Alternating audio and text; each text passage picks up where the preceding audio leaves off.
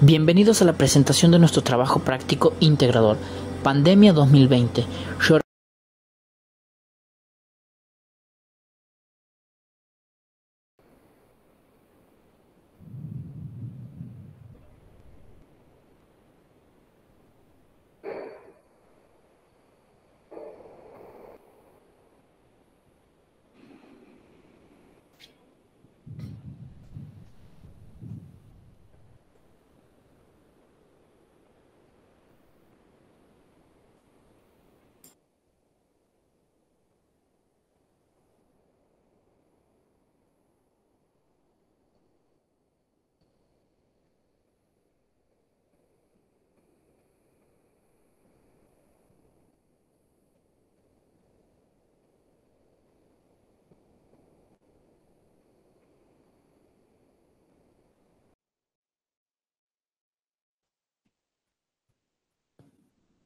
Bueno, buenos días. Continuando con el ciclo de presentaciones, la UNCE abre sus puertas. El turno de la Facultad de Ciencias Médicas. En este caso tenemos como presentadores a, a, dos estudiantes de la carrera de Medicina. La dinámica de la presentación va a ser la siguiente. En primer lugar, se les va a mostrar un, un video. Luego los estudiantes van a contar su experiencia, o cómo ha sido vivir en carne propia, lo que es aprender en contexto de pandemia y los últimos minutos de la presentación la vamos a destinar a responder preguntas que pueden ir haciendo por el chat aquí de la transmisión de YouTube. Bueno, sin más preámbulos, los dejo con eh, Damián y Cristian. Hola, bienvenidos. Mi nombre es Cristian Merian, compañero de Cristian. Somos estudiantes de la Universidad de Santiago del Estero Pertenecemos a la Facultad de Ciencias Médicas. Yo estoy cursando actualmente el quinto año y mi compañero cuarto año. Eh, hoy estamos aquí reunidos eh, para estar a su disposición, para abrirles las puertas de nuestra facultad, para contarles cómo son las dinámicas, cuáles son nuestras experiencias y para tratar también de alentar a que incursionen en este camino que es el de la medicina. Como saben, en este último tiempo y prácticamente desde el 2020 nos hemos visto atravesados por una situación social y sanitaria que ha interrumpido con muchas de nuestras actividades cotidianas, con, con muchas de nuestras libertades y que nos ha obligado a adaptarnos, no solo en el ámbito institucional, sino que también en todos los niveles sociales. Nosotros como estudiantes de medicina hemos tenido un gran desafío en estos últimos tiempos, principalmente porque la carrera de medicina, eh, lo que estamos estudiando, es casi un 100% presencial. Eh, en los primeros meses de la pandemia nos ha tocado guardar nuestros guardapolvos, nuestros ambos y encarar nuestro futuro desde nuestra casa. Obviamente algo decepcionados y preocupados sumado todo esto al estrés que ha generado el contexto mundial. Pero ahí estábamos y, aquí estamos también, aprendiendo, formándonos y, también preocupados, porque después, después de todo somos conscientes de que el día de mañana vamos a ser nosotros los que vamos a tener una vida en nuestras manos. Eh, un ejemplo de, todo, de toda esta adaptación eh, es un video eh, que es el que vamos a presentar ahora. Este video lo hemos realizado como parte de una actividad durante el cursado de la materia Historia de la Medicina. Eh, la consigna era que teníamos que entrevistar a diferentes actores locales sobre el impacto que ha tenido la pandemia. Nosotros particularmente hemos elegido entrevistar acerca de cómo se ha tenido que reorganizar el sistema de salud y los cambios que han tenido que hacer. Eh, también nos hemos interesado en qué efectos ha tenido en la vida cotidiana la pandemia en, la vida de, los profesionales de la salud. Eh, y bueno, este video es un buen ejemplo de cómo todos nos hemos tenido que adaptar a esta circunstancia, especialmente los estudiantes de medicina y los profesionales de la salud. Por favor, si lo pueden compartir.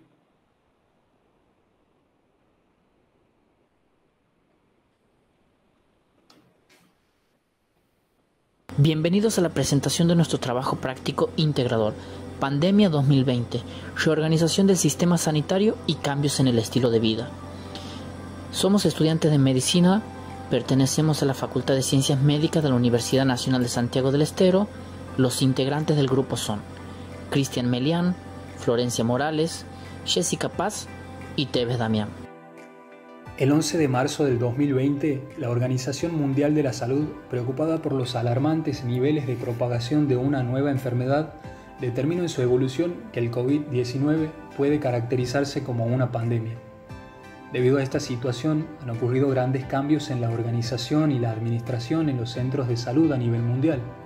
Además, se ha visto afectada la vida personal y laboral de los profesionales, así como también la de la sociedad en general.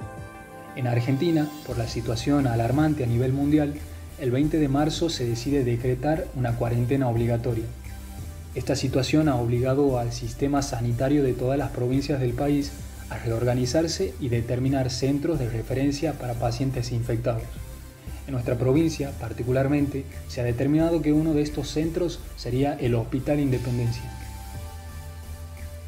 El Hospital Independencia se ha fundado en el año 1916.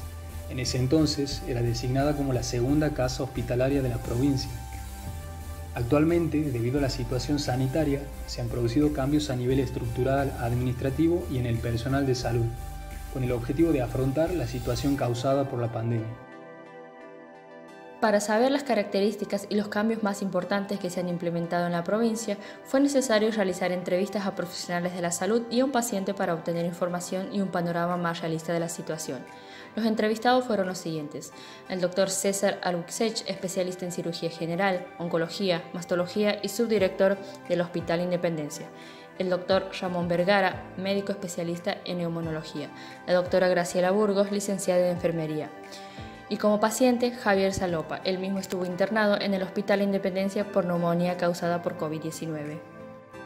Entre los cambios a nivel organizacional y administrativos de mayor importancia y que han sido relatados como importantes por los entrevistados se encuentran no tan solo cambios estructurales, sino cambios de la circulación de la gente, del personal, sino la capacitación de los recursos humanos. Al iniciar la pandemia, eh, obviamente que eh, muchos de los eventos que hacíamos no se podían seguir haciendo, los cuales fueron por el resto del sistema de salud y se empezó a dar la organización del hospital para afrontar en todos los niveles de atención a esta enfermedad. El, el, hospital está dividido en varios sectores, la mayoría es COVID. Hay un sector que no es COVID, donde van los pacientes sospechosos hasta que se hace el diagnóstico de COVID. Si hay una sala que entra el, el paciente que no tiene el diagnóstico de COVID, y cuando le da positivo pasa para nosotros, si le da negativo lo derivamos a otro hospital. Javier Zagolpa, paciente internado, nos cuenta cómo fue la atención médica durante su estadía de internación y refiere lo siguiente. Sí, en cierta forma sí, porque este, la verdad que la atención ha sido muy buena. En los médicos muy muy atentos, muy serviciales y cada cuatro horas va un médico también a, a consultar, a hacerme preguntas de cómo estoy, qué necesito, a explicarme sobre los medicamentos, cómo actúan los medicamentos. El contexto sanitario actual ha modificado la vida personal y laboral de los profesionales sanitarios, así también como la de todos los ciudadanos. En cuanto a la vida laboral, expresaron lo siguiente. Esta reasignación de funciones hacia el triage, hacia la guardia, que es algo bastante diferente.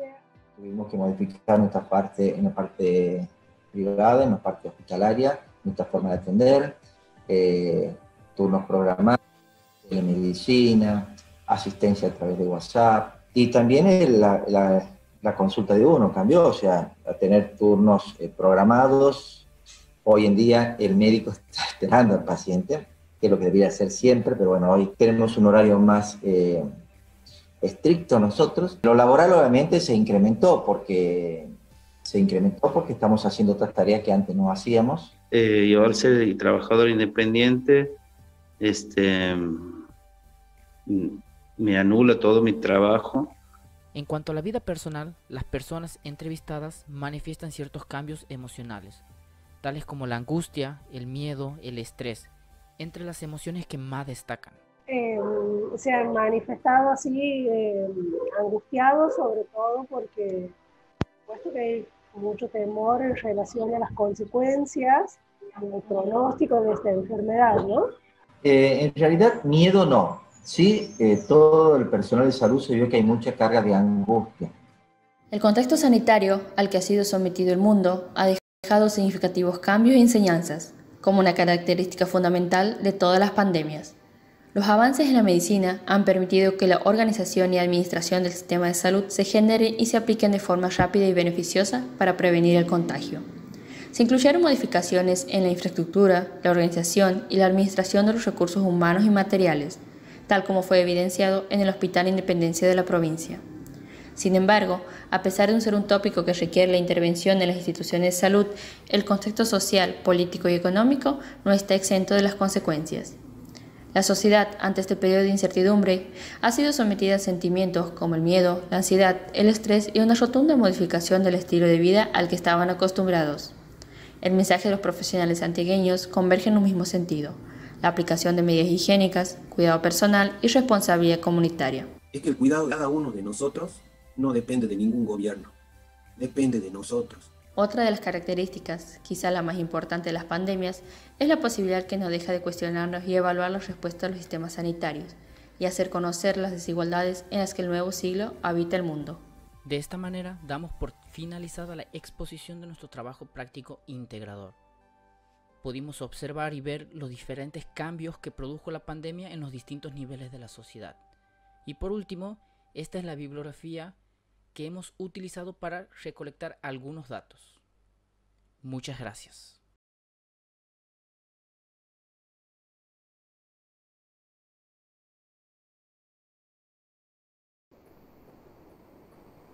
Muy bien, eh, gracias por compartir nuestro video. Mi nombre es Damián, como decía Cristian, buenas tardes a todos. Eh, principalmente queríamos decir que la temática de nuestro video más que nada ha sido eh, debido al que, como decía Cristian, nos ha golpeado lo que es la pandemia por el COVID y él decía que todos tenemos que adaptarnos en todos los niveles, tanto como a nivel personal, como a nivel eh, en la sociedad, como a nivel en el sistema de salud. En todos los niveles se ha tenido que hacer una adaptación, unos cambios y nuestro, nuestra idea era reflejar justamente eso en nuestro video. Nosotros hemos elegido la reestructuración de los sistemas de salud, pero en este caso eh, puntual podemos ver cómo todo ha cambiado, cómo el miedo está muy presente en la sociedad, cómo todo ha sido un proceso de cambio. Y era la idea principal de nuestro video. Y queríamos también traer eh, a conciencia a la comunidad y traer un mensaje conciso que era el cuidarse. Nosotros eh, hemos vivido muy difícil la pandemia, como decía Cristian. La carrera de medicina es una carrera muy dinámica que varía entre la práctica y lo teórico y es una carrera muy presencial y que necesitamos de ir a los hospitales, de ver pacientes, de estar aprendiendo aquí con nuestros profesores en el centro de estimulación que tenemos hoy en día. Eh, es una carrera muy dinámica y es, ese es esa dinámica la que se veía comprometida con el, con el tema de lo que es la pandemia. La verdad ha sido para nosotros, en, en mi caso personal, sentía mucha angustia, mucha incertidumbre, mucha duda por no saber cómo estudiar o no saber cómo lograr aprender los conocimientos requeridos para mi carrera, no tenía idea de cómo rendir las materias también, que creo que eso también le ha pasado a todo estudiante, eh, no saber cómo rendir los finales, era un grado de incertidumbre, pero eh, hemos tenido que adaptarnos, el video que hemos tenido que aprender de computación, cosa que en mi caso no, no sabía cómo hacer un video, no sabía cómo editar, no sabía cómo filmar, la verdad que ha sido una adaptación en todos los aspectos y lo bueno que tenemos nosotros es que la facultad siempre ha estado presente, eh, nos mandaban cada tanto mensajes eh, apoyándonos, alentándonos a que no perdamos la calma, eh, ellos buscaban la forma de solucionar. tenemos la, la, fortuna de ser una de las pocas facultades que ha logrado terminar el cursado 2020, hemos podido cerrar con prácticas presenciales, la facultad nos ha equipado, siempre ha estado presente con nosotros. Por ejemplo, Eh, si algún estudiante, por ejemplo, no contaba con los elementos de protección personal como las mascarillas, eh, la facultad nos ha, nos ha, dado la posibilidad de otorgarnos ellos las máscaras. Ha sido un acompañamiento que han estado presentes desde lo administrativo hasta también como a nivel docente, porque los docentes siempre estaban ahí. Al principio las clases no eran obligatorias, sino era un acompañamiento pedagógico, pero los docentes igual daban todo, nos explicaban con todas las ganas, buscaban la forma, se conectaban eh, para que podamos aprender. Y es algo que, digamos, no, que no puede pasar desapercibido el, el apoyo que hemos tenido. Ahora queremos compartir eh, unas pequeñas eh, imágenes donde mostramos cómo era la, la situación académica pre-pandemia y luego cómo ha sido post-pandemia.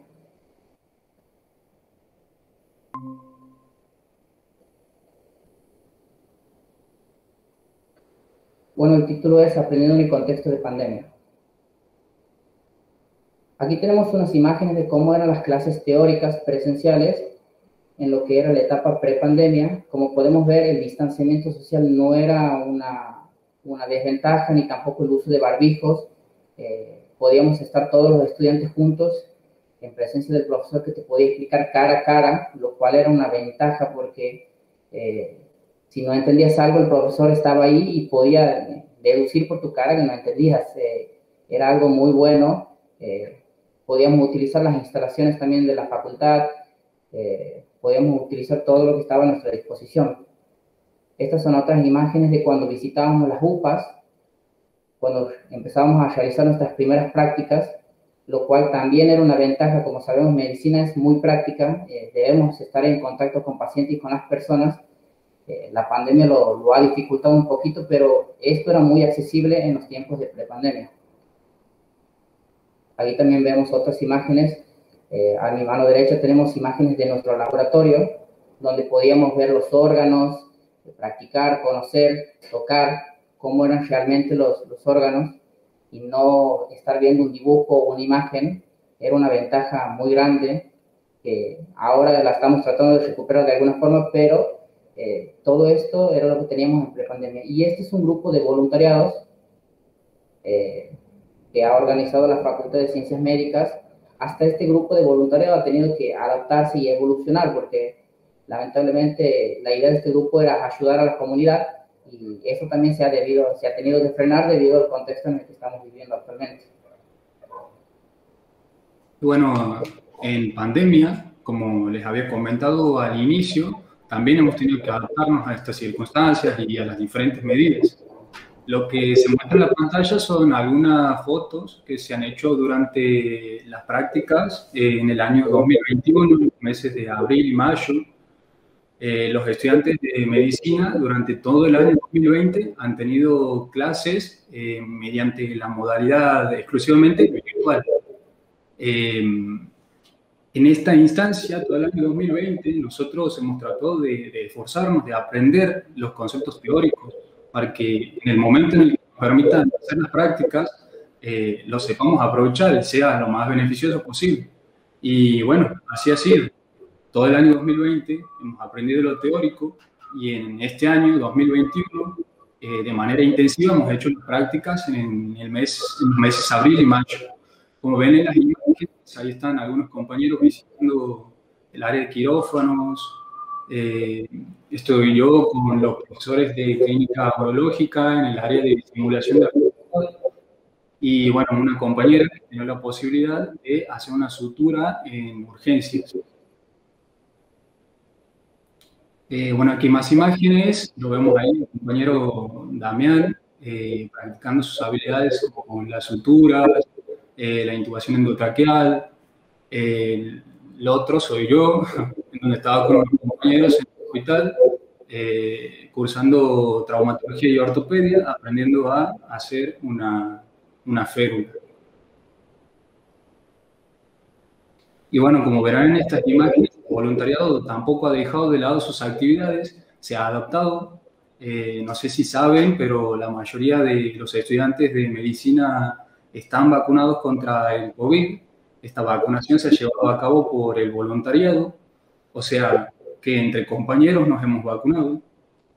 Y bueno, por último, Eh, con mi compañero Damián queríamos también dejarle un consejo, tomar algunas palabras de José Alberto Mujica y queríamos decirle que no pueden comprar vida, que tienen que luchar por vivirla, por darle contenido a la vida. La diferencia de la vida humana a otra forma de vida es que tú le puedes dar hasta cierto punto una orientación a tu vida. Tú puedes ser el autor del camino de tu propia vida.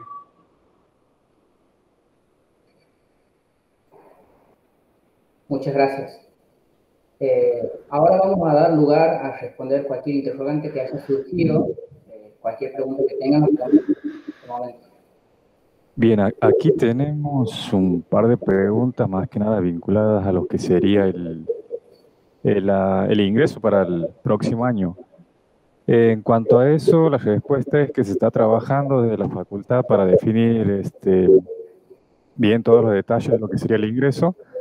Tengan en cuenta de que eh, todo va a depender si seguimos en un contexto de pandemia o no, o si se vuelve la, la presencialidad. Todos los detalles sobre el ingreso se van a ir publicando, se van a ir actualizando en la página de la facultad, así que estén atentos a eso. Y en cuanto al material de estudio para el curso de ingreso, es mm, básicamente el mismo, sí, todas las modificaciones este, que se deciden hacer se van a ir actualizando eh, ahí en la página de la facultad. Bien, ¿alguna pregunta? Sí, si, si, tienen otro tipo de preguntas, las pueden plantear ahora en, el chat de YouTube. Tenemos algunos minutos para poder responderlas.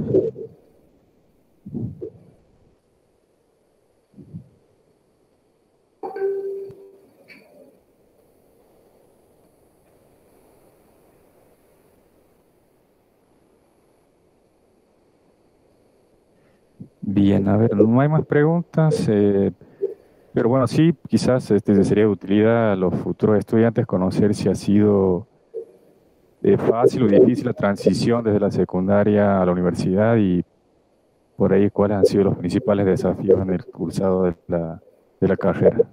Em, creo que como toda carrera universitaria o carrera terciaria es difícil. Eh, no hay carrera que sea fácil, por decirlo así. Eh, todo cuesta, chicos. La verdad que cuesta estudiar. Hay que tener mucha fuerza de voluntad. Eh, sepan, sepan que si eligen medicina, el día de mañana van a trabajar con una vida eh, una vida va a estar ahí, depende de ustedes salvarlas o no. Eh, eso ténganlo muy presente y en eso creo que se diferencia de otras carreras, pero cualquier carrera es difícil. Lo que creo yo es que con fuerza de voluntad pueden salir adelante, pueden estudiar, pueden sentarse y decir, no, yo quiero ser médico. Eh, todo depende de ustedes. La pandemia, como decía Cristian, en la frase que compartíamos, Ustedes son los que le tienen que dar el propósito a su vida. No, no pueden dejar que esto los detenga o cualquier situación no los pueden dejar que los detengan. Ustedes tienen la fuerza de voluntad para decidir si sentarse. Nosotros teníamos la decisión de o nos poníamos mal, nos poníamos tristes y no estudiábamos, o nos levantábamos y nos sentábamos en nuestra casa y estudiábamos como sea hasta que nos podamos reunir presencialmente y aplicar todo lo que estábamos estudiando. Y hemos decidido lo segundo estudiar, ponernos las pilas y esperar que la situación cambie. Eh, la carrera es difícil, pero ustedes pueden, tienen que concentrarse en que quieren ser y si les gusta, cuando realmente estudien, van a ver que les va a gustar lo que está estudiando. O sea, van a aprender cosas y lo que están aprendiendo les va a gustar y los va a motivar a que sigan estudiando aún más. ¿O no, Cristian? Sí, sí, eso sí es bueno recalcarlo que si van a incursionar en cualquier carrera y en medicina particularmente, eh, sepan que les tiene que gustar realmente. Siempre traten de, de, estudiar lo que les gusta y medicina es una carrera extremadamente dinámica. No hay otra carrera en la que lo teórico con lo práctico tengan tantas relaciones, muy dinámico, llega hasta algún punto a ser divertido, así que si les gusta, yo creo que no tienen que dudar mucho.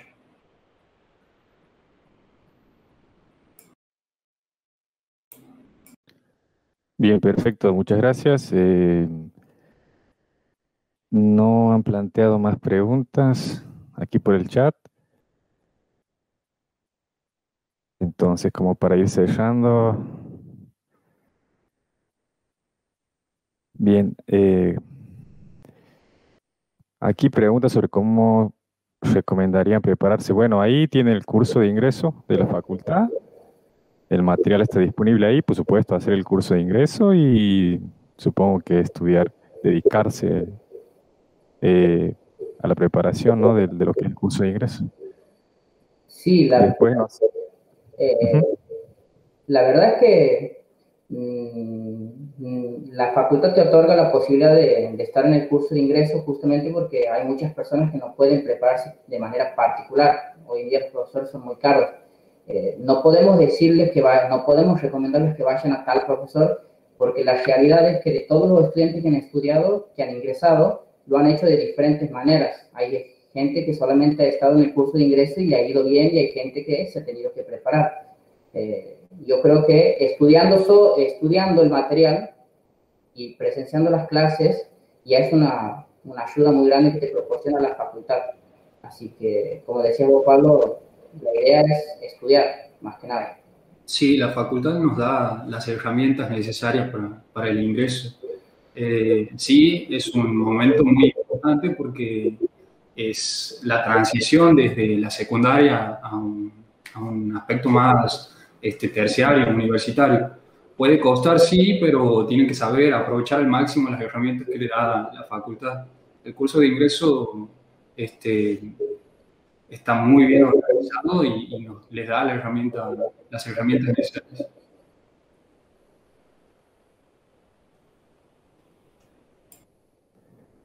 Bien.